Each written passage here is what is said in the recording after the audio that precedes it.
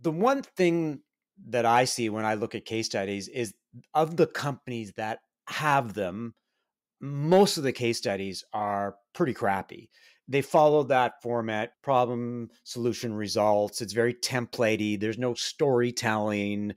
They're boring and often they're ineffective sales and marketing assets. The question would be why do companies treat case studies with such, I don't know if the word is disdain, but they don't give them the love that they deserve. They spend so much time crafting guides and ebooks, but when it comes to case studies, it's almost like they're going through the motions.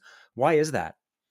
There are many reasons for that. The first is accountability. No one really steps up to own this function because it crosses so many teams sales marketing customer success there's really no ownership typically of the strategy there's no thought put towards how the, the you're going to use these or even realization that these can be strategic assets i think for a lot of marketers they've been taught that template problem solution results and and that's all this is i think also people tend to mail it in because they're hard so they don't want to have to ask the customer because they're worried the customer will say no. So they try to just manufacture it internally. That's not a customer story, that's a you story. And you're missing some pretty critical narrative components in that their entire perspective and experience is absent. Now you've got a very cold clinical set of bullet points of here's what we did that uh, okay, the metrics might be impressive, but there's nothing compelling about that story.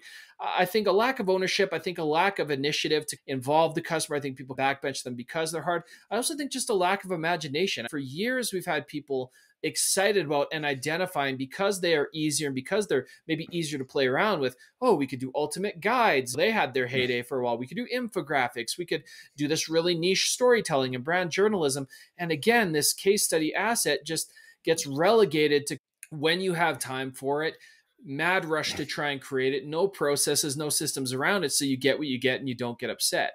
And i think to break that starts by realizing there are so many different types of customer stories you can tell.